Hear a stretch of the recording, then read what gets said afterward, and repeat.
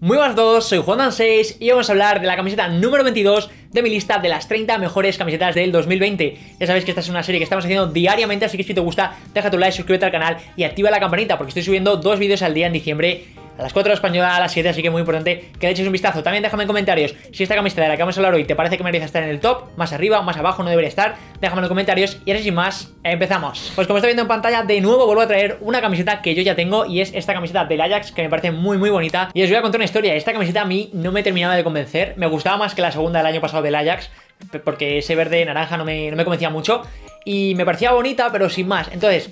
Tuve que hacer eh, un pedido a Cacagol, que me lo mandaban gratis para que yo hiciese la review, os la dejo por aquí.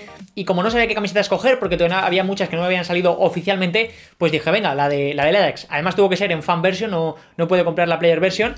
Y, dije, bueno, venga, pues la del Ajax y ya está. Y cuando me llegó, flipé. En persona me pareció muchísimo más bonita que en las fotos. Me encanta este color azul, o sea, creo que es precioso. Queda muy bien con el blanco, queda muy bien con el rojo. El escudo monocromático del Ajax queda genial en rojo, me parece súper bonita, la verdad.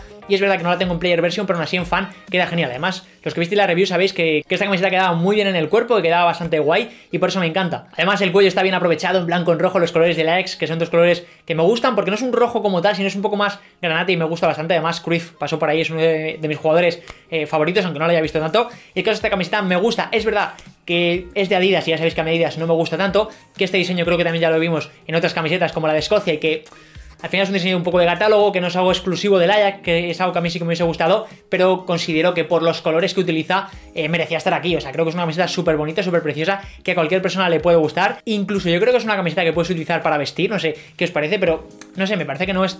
Es de fútbol, pero que te la podías llevar para vestir porque es muy bonita, es muy elegante y no sé, a mí sobre todo me despierta mucha tranquilidad, serenidad eh, con este color azul, me, encanta esta equipación y como digo, eh, si, si, os gusta tanto como a mí, pues decidme en comentarios si quizá merecía estar un poquito más arriba que este puesto 22, creo que ya son tantos números que ya me pierdo un poco, o si por el contrario pensáis que es una camiseta un poco simple y que quizá merecía estar más arriba o que no merecía estar en el top. Pese a ello, yo creo que ninguno puede decir que es una camiseta fea. Como mucho te puede parecer un poco simple, pero fea, fea a mí, objetivamente creo que no, creo que no lo es. Y no sé, a mí me gusta muchísimo y por eso la metió en este top de las 30 mejores del año. Y si te ha gustado este vídeo ya sabes que es importante que dejes un like, también que te suscribas al canal y que actives la campanita porque como bien he dicho antes, estoy viendo dos vídeos al día, uno a las 4 de la española y otro a las 7. Aquí te voy a dejar el vídeo con la camiseta que era el número 23 de la lista, que está muy bien. También puedes seguirme en mi Instagram que hago contenido exclusivo. Muchísimas gracias por estar ahí y mañana nos vemos con dos nuevos vídeos. Adiós.